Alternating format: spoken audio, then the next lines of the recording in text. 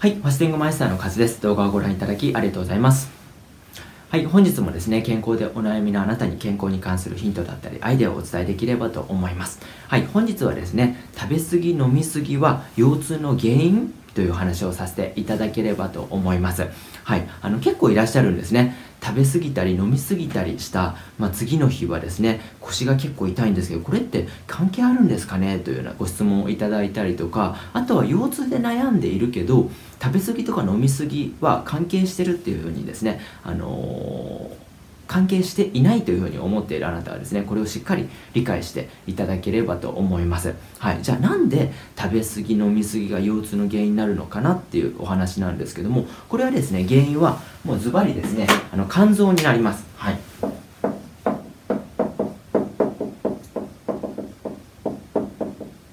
ちょっと書き順めちゃくちゃでしたけど。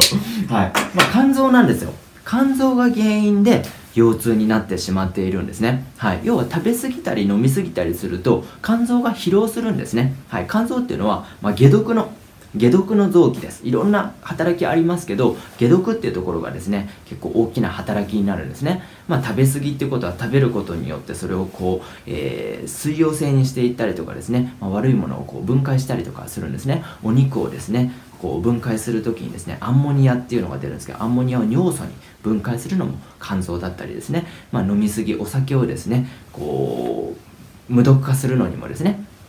まあ、肝臓がこう働く必要があるんですね。で肝臓が疲労してくるとですね肝臓っていうのは筋肉ですからこう重くなってくるんですね。こう疲労して重くなってこう下に落っこってくるんですよ。下にこう肝臓が落っこってくると体がこう肝臓が起こっていくことによって肋骨もこう肋骨と横隔膜横隔膜と肝臓っていうふうにつながってますから起こってくるんですね。起こってくることによって肩がこう下に起こってくることになりますからそうすることによって骨盤がこう受け止めるような形になるんですね。受け止めるような形になると体が歪んでくるじゃないですか。そうするとこう左のこう背中が張ってきたりとかですね、まあ、腰の方もですねこう重だるくなってきたりとかするわけですね。はい。それで結果的に右の座骨神経痛が出てきてしまったりとかそういうことが起こってしまうんですよ。なので肝臓の疲労が起こることによって体が歪んできてしまってその結果腰痛になるっていうことがこうあるんですね、はい、なのでやっぱり肝臓をこう疲労させないっていうことになるんですけども、まあ、これのですね一番簡単なやり方っていうのは、まあ、1日ファスティングです、はい、1日ファスティングが、まあ、一番簡単で一番効果的なやり方になります。要は内臓のこう休息ですよね。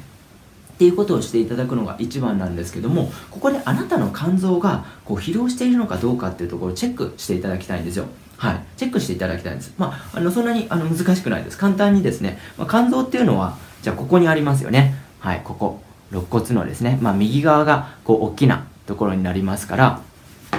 まあ、肋骨がありましたら、肋骨のまあ、ここの中心から少しこう、大体そうですね、まあ、指3、4、3、4本横側にですね。でこれで右側右側ぐっとちょっとこう奥に押してみてください。まあ、そんな強く押さずに軽く押していただくと右と左で比べていただく右の方がちょっと痛いなっていうふうに思われたらもう肝臓がですねあの疲労してると思ってください。あともう一つやり方としてはこの右手のですね右手のこの水かきですね水かきの部分、まあ、合谷っていうツボでもあるんですけどもこの筋肉を少しですね押してみてください。こっちからクックックックッと。で左と比べて右の方がこう痛いっていう風になるんでしたらこれもやっぱりですねこれもまああの内臓の反射点という形になるんですけども、まあ、肝臓が疲労しているあの証拠になります。そうするとやっぱりあ自分の肝臓が疲れてるんだなっていうふうに思っていただいて結構ですから、まあ、1日ファスティングしていただくのがですね、まあ、一番効果的なのかなっていうところになります、はい、なのでやっぱり肝臓がこう疲労するとですねこう腰痛が起こるっていうところメカニズムをですね理解していただいて自分の肝臓がですねいい状態を保っていただければ腰痛のですね予防にもなるんですよっていうようなお話になります、はい。まあ、そこでですね加えて言うと肝臓が疲労してくると便秘にもなるんですよっていうところも自覚していただきたいんですね。これもですねさっきのメカニズムと一緒で肝臓が落っこってくることによって腸をですね下にこう下というか左に左下に押し出してあげ押し出してしまうんですね。押し出してしまうことによって S 状結腸といって腸をですね、えー、直腸、まあ、肛門の上にあって直腸があって直腸の上に S 状結腸っていうのがあるんでそれを圧迫してしまうんですよ、まあ、こんな感じの位置関係になってますよね。で肝臓がですねこうこういう形で押していくんですね腸。そうするとこの S 状結腸 S 状結腸この青くしたところこの位置が圧迫されてしまうんですよ。でここが圧迫されることによって肝臓がこう押していきますから圧迫されることによって